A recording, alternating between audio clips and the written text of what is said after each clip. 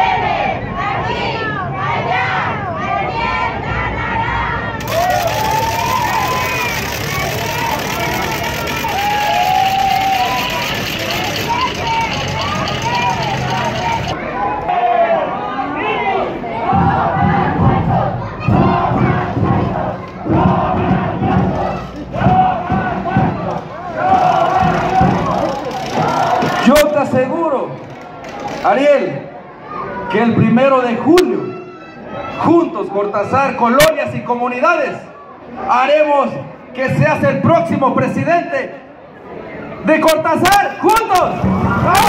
En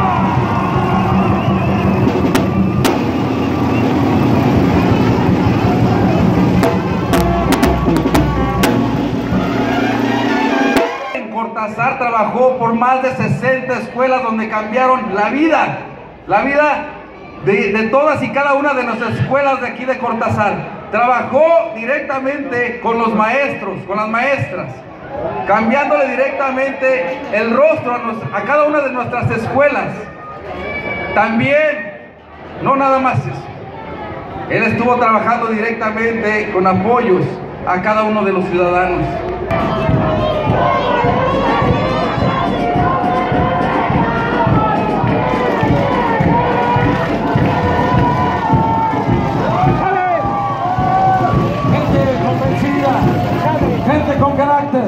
Gente dinámica y nos hemos sentido perfectamente bien representados con el coordinador de los diputados del partido Acción Nacional. y quiero que lo recibamos en Cortázar, Guanajuato, con un fuerte aplauso. Me refiero a Marco Cortés. La pregunta es, ¿qué han hecho quien los gobierna aquí en el municipio? Y lo que han hecho, lo han hecho mal. Amigas y amigos, hay que decirle a quien mal nos gobierna que su tiempo se acabó, que no funcionó para Cortázar. Amigas y amigos, Guanajuato, Cortázar no se quedará atrás. Vamos a ganar, a darle con todos juntos Muchas felicidades, querido Ariel. Aquí está, brindando todo su apoyo, el senador Fernando Torres Ganciano.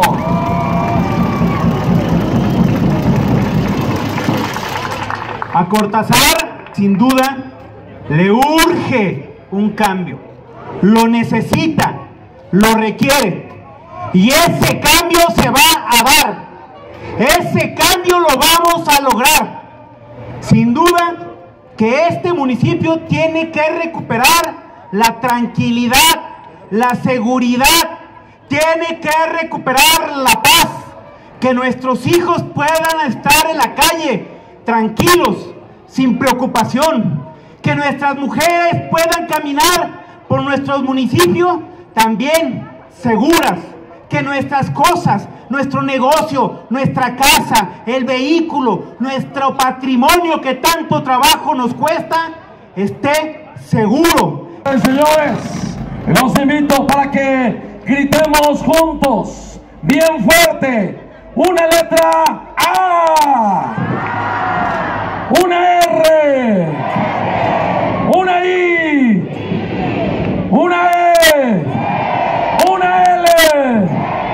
¿Cómo dice? No los escucho, ¿cómo dice?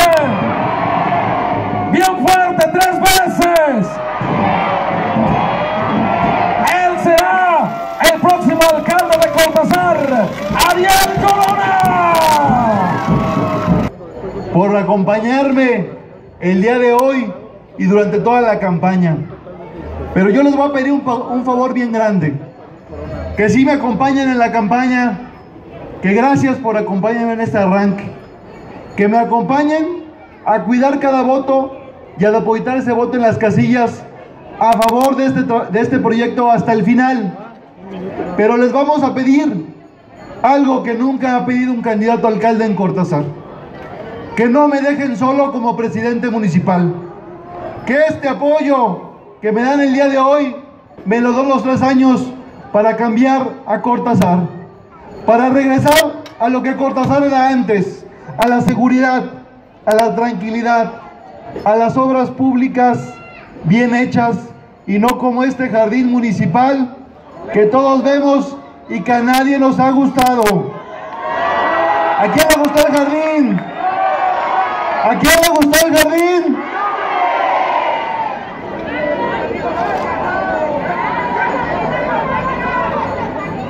Todos me conocen, soy un joven, un joven cortazarense como ustedes, un cortazarense comprometido con mi municipio, una persona que ha creído en el trabajo y en los valores que nos enseñan en la familia.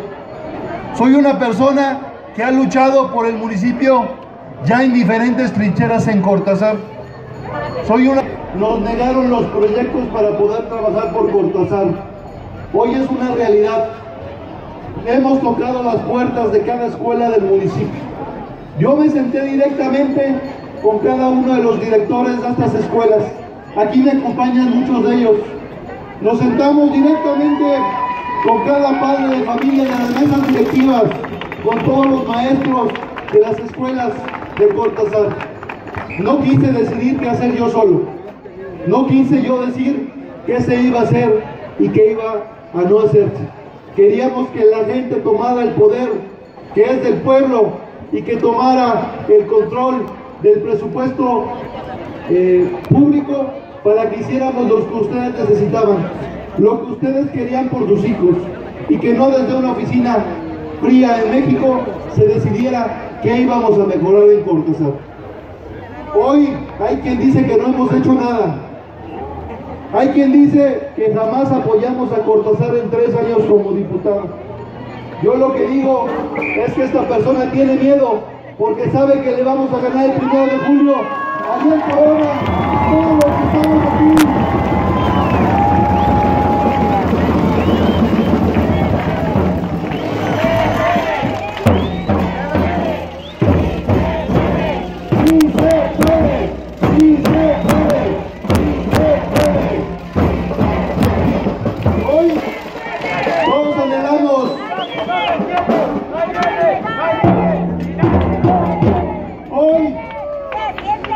Daniel está presente. Eso. Hoy yo creo que todos anhelamos un gobierno honesto. Un gobierno que pueda dar. Yo me comprometo. Está grabado. ¿Están sus celulares puestos? Sí. Yo me comprometo. Esto suben a las redes sociales. Esto va a ser totalmente público.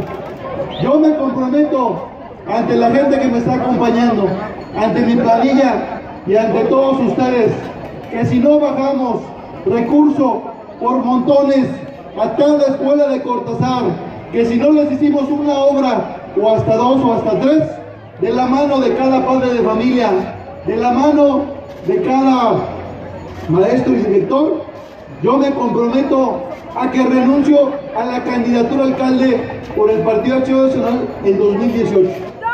Pero también, pero porque estamos seguros que lo hemos hecho, pero también le pido a quien ha estado difamando y a quien ha estado mintiendo a Cortázar, puerta por puerta y casa por casa, que si es cierto lo que yo estoy diciendo, que renuncie entonces a su candidatura. Pueden grabar sin ningún problema.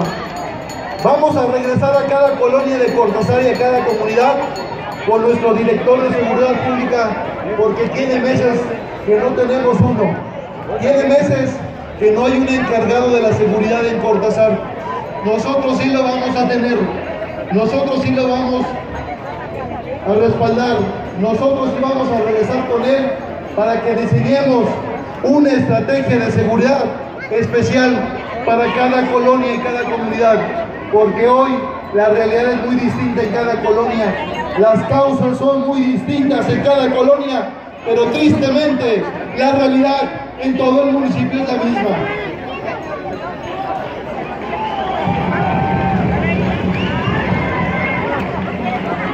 Hoy hacemos un compromiso también directamente con la gente del campo de Cortázar, con nuestra gente que hemos olvidado por muchos gobiernos y que merecen mucho, que sustenten a nuestras familias.